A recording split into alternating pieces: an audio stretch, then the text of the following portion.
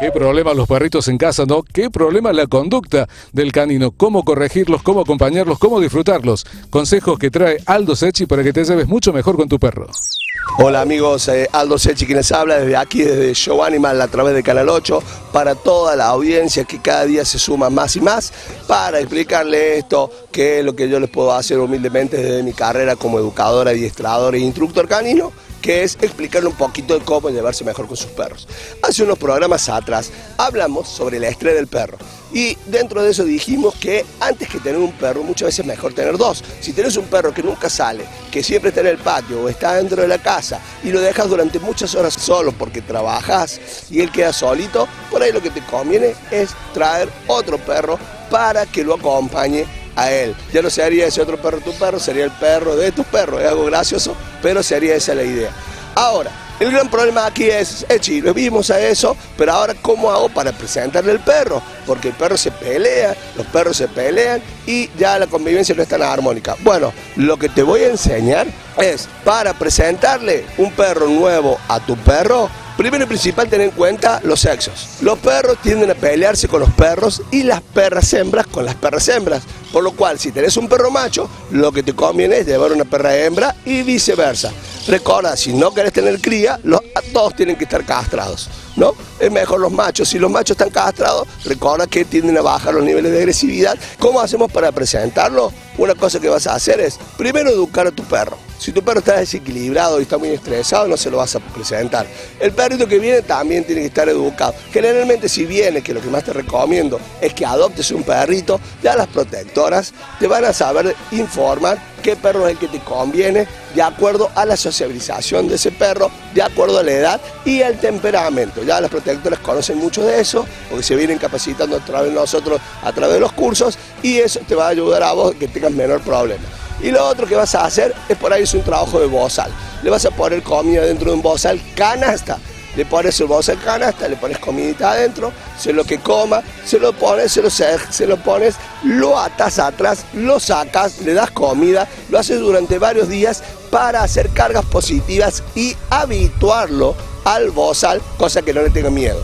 Una vez que el perro aprendió estar con el bozal, el otro perrito hace lo mismo y cuando lo ponen los dos no se van a poder atacar, que es lo que vamos a evitar. Porque si los perros se atacan, se trenzan en lucha y se lastiman a través de sus fauces, obviamente que va a generar una carga negativa que después nos va a ser muy costoso que se hagan amigos pero ya con el bozal no. Y una vez que entramos lo hacemos con correa, primero nos presentamos con correa, nos mantenemos en movimiento dentro del patio, siempre el patio dentro de un lugar contenido y cerrado para que no se nos escapen, y mientras nosotros nos mantengamos en movimiento, ellos se van a mover. Y de ahí vos vas a ver si está todo bien, le vamos a sacar el bozal al más, al más fácil, por decirlo de alguna forma, y después sacamos el bozal a los dos, y de ahí vemos, seguramente van a empezar a jugar y se van a divertir muchísimo, y ahora te va a dejar toda la tranquilidad de que tu perro ya va a tener una gran oportunidad de sacar el estrés y lo que es mejor, le habrás dado un hogar a ese otro perro que hasta ese momento vivió en un refugio o en situación de calle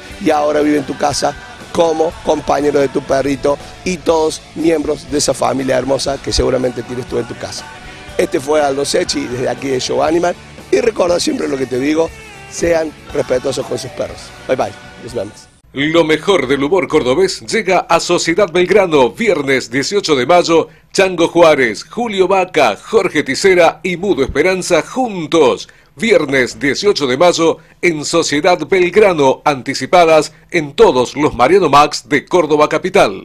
Y si ya hablamos de todo, no podemos dejar de hablar de la salud de tu mascota. Para eso, los importantes veterinarios que nos acompañan, los más destacados de Córdoba, aquí en Show Animal.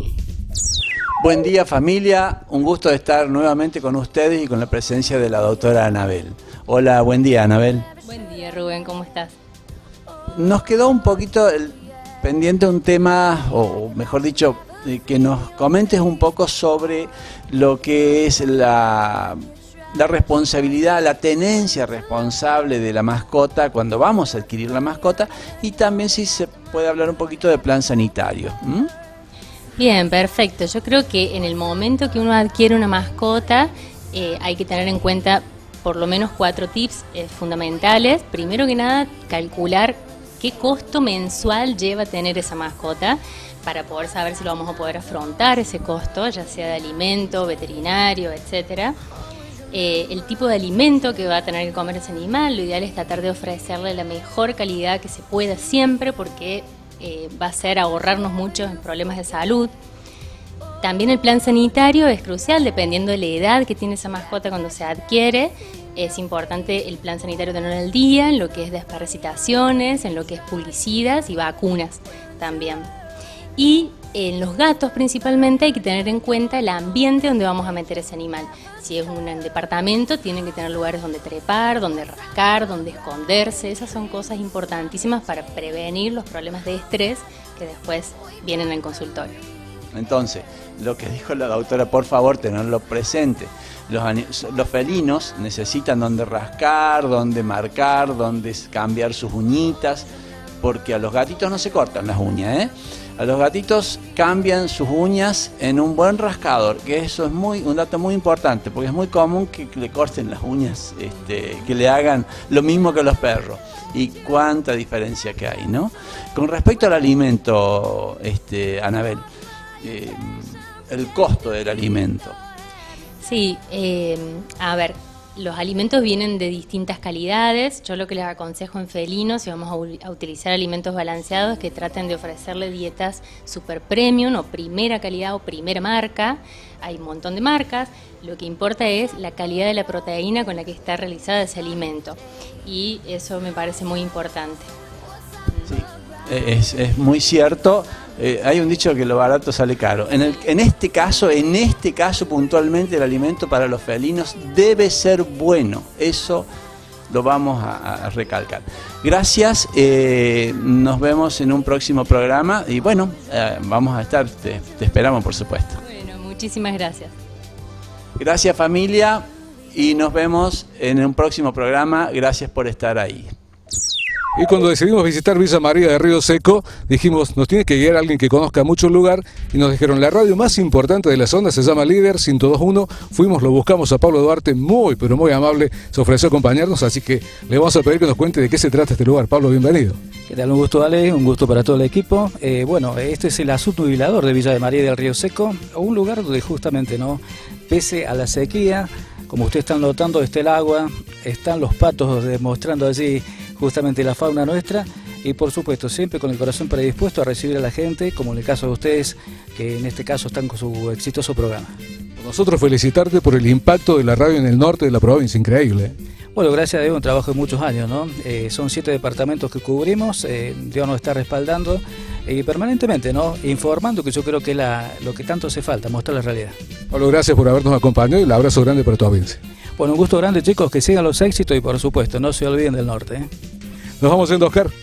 Bueno, Alejandro, nos estamos yendo y hablando de amigos. Qué grandes amigos que tenemos que son los animalitos. En su día, la verdad que hay que festejárselo, cuidarlos y para que los cuiden siempre esos veterinarios amigos que tenemos, que son los amigos de nosotros, Alejandro, que cuidan a nuestras mascotas. Muchas gracias por todo y hasta la semana que viene.